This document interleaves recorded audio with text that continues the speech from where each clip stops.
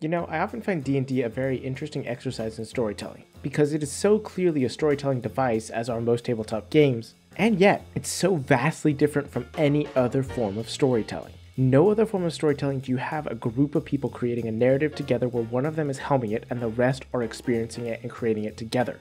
The closest thing you have are improv classes, and let's be honest, most improv is usually comedy based. Not all of it, but most of it. And I personally, I love studying literature and writing and storytelling and the very art form that it is, and Dungeons and Dragons, tabletop games, that entire spectrum confounds and confuses me. Which might sound kind of weird, right? Like I've literally made an entire channel talking about storytelling in Dungeons and Dragons, but there's a reason for that. I find the best way for me to learn is to talk about something, because if I talk about it, I am encouraged and forced to go ahead and go experience it and research it more. So the reason I made this channel and wanted to talk about storytelling in D&D is because I find it so fascinating and a very different topic that I don't really know that much about. The more I learn, the more I know that I don't know. But why is it so weird and different? Well, the simple fact of the matter is that there are a lot of literary concepts that are very based in reality that just don't apply to D&D in the same way. For example, the topic of today's discussion, character arcs. Character arcs are interesting because they're basically the outline of how a character grows or changes over the course of a story. Or vice versa, how they change in a negative fashion. But it's how a character develops over the course of a story, and honestly, without character arcs, literature, or storytelling in general, would not be that interesting. After all, why do we watch stories? To see something change, to see how the story develops and what it does to change those around it or in it. And usually, character arcs are planned out with definitive points of where you can see characters change through their choices and actions. Dungeons and Dragons, however, does not have planned out character arcs. Everything is improv, nothing is planned, so how does that work in this sort of storytelling format? Well, welcome to today's topic. Today we're going to talk about character arcs, how to handle them, and what you do with them in Dungeons and Dragons. So let's talk about that.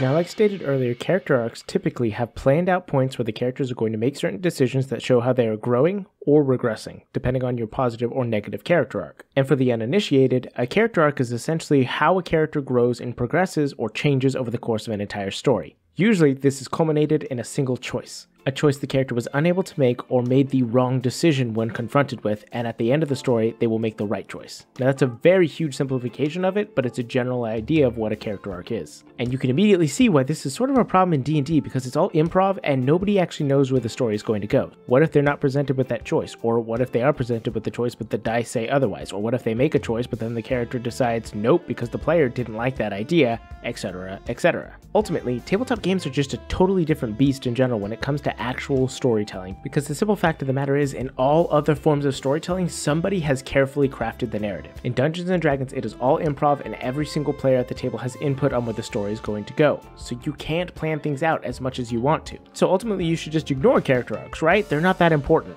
I actually don't agree with that sentiment, and that's why I wanted to make this video. See, I noticed something when looking at all of my previous PCs, and more importantly, the PCs, or player characters, that my players have brought to the table. See, every single one of them has a vice, a problem, something in their life that they know is negatively affecting them but they're unable to overcome. And if you look at it really closely, you can start to notice parallels in the vice that their character has and problems that they face in their own life. And this isn't surprising or a dig at any of my players, it's just facts. When we write, we write what we know. When we storytell, we tell what we've already experienced. So of course we would put that in our characters. I mean, ultimately, you always put a piece of yourself in your character. I made a video on that. Link in the description if you want to go watch it. But it's not a bash on anybody, it's a simple fact of the matter. And when we play D&D, the point of playing Dungeons and Dragons is to experience a different reality where we are capable of different things and to be able to go through new experiences. And one of those experiences that I find almost every player wants, whether they realize it or not, is to be able to overcome or at least face that vice. And let me make it clear, not every single one of them wants to overcome it. I've had players with crucial critical character flaws that they have had to overcome day in and day out in their life, and in D&D, they just wanted to be able to experience what it was like to give in to that, to be able to experience just accepting that part of yourself. And that led to a negative character arc and a really interesting story, and it's not wrong of them to do that. The point of D&D is to tell an interesting story, not a story where everybody gets a happy ending. If it was always a story where everyone got a happy ending, character death wouldn't be possible and the dice wouldn't even be there. But it becomes really difficult to be able to tell that story and that character arc because of the random chance of the dice. But I firmly believe that finding those character arcs that your players are trying to have their characters go through, whether they realize it or not, is a huge part of creating a compelling narrative and a story that lasts in their mind, while also, and most importantly, making it a fulfilling experience. But if I've already spent all this time talking about how difficult it is to tell a character arc in D&D, what do you do? Well, here we go. What I do, and yes, this is just my personal opinion and methods, but what I do is I try to identify very quickly the vice that my players have put in their characters. And this is usually pretty easy. For most DMs, just go look at the flaws part of their character sheet. They've usually put something there. Not every player does this, and not every table uses it, but a lot of them do, and this is a great first step. If they haven't done that, however, you can either ask the players or wait for what I like to call the moment. Every player I personally have ever seen at my tables, even the most min maxing characters, will at one point decide to make a decision that is clearly the wrong decision. They will do something they know leads to negative consequences.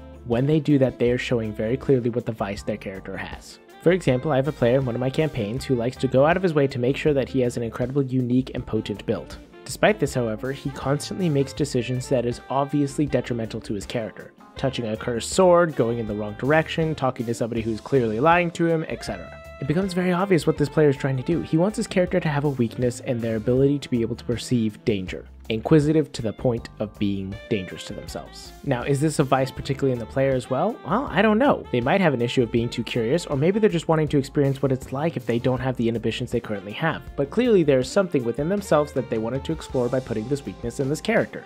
Therefore, I can do a few different things. I can either choose to go ahead and put a situation where he harms himself so much he is forced to be able to confront his own recklessness, or if it is clear that he wants to explore this in a positive light, I can go ahead and put a situation where everybody else doesn't want to do something and he charges Ford to do it because he's curious and shows everybody else that sometimes you just need to take actions in order to be able to move forward. And that's what I find so interesting about character arcs in Dungeons and Dragons. See, there are two different types of character arcs, or three if you're the one to go deep into it, when talking about a literary sense. There's positive character arcs, where your character grows and changes in a positive light. There's negative character arcs, where your character grows to believe something false and therefore has a negative character arc. Or neutral character arcs, in which your character does not change at all, but instead is so steadfast in their beliefs they change the world and the people around them. In D&D, most character arcs are negative or positive.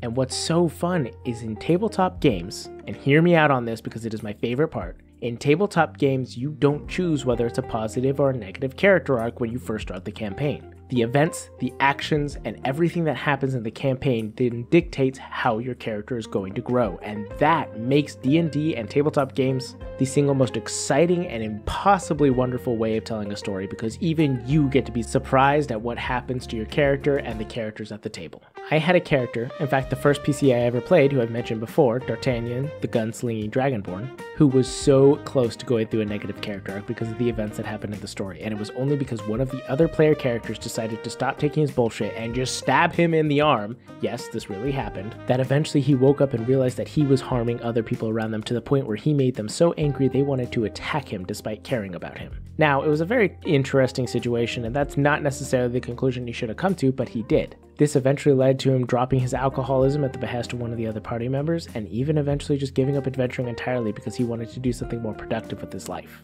I, when I created the character, intended for him to go through a negative character arc, so the fact that he ended up going through such a positive one was so fascinating, and the only reason it happened was because D&D is a game of chance and collaborative storytelling. I wanted to tell a certain story.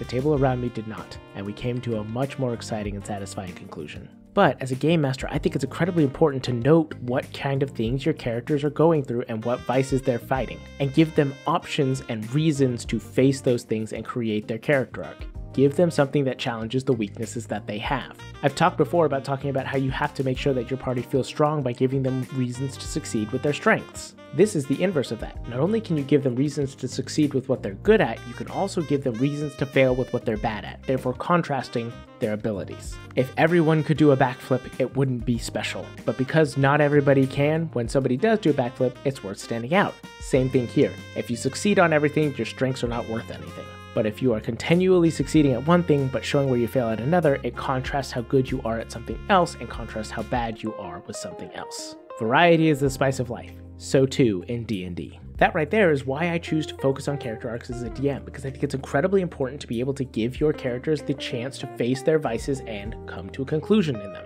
And when you come to those conclusions, it often gives a catharsis to the player because they were able to face something they probably have to deal with in their own life and figure out something about it, whether it was good or bad.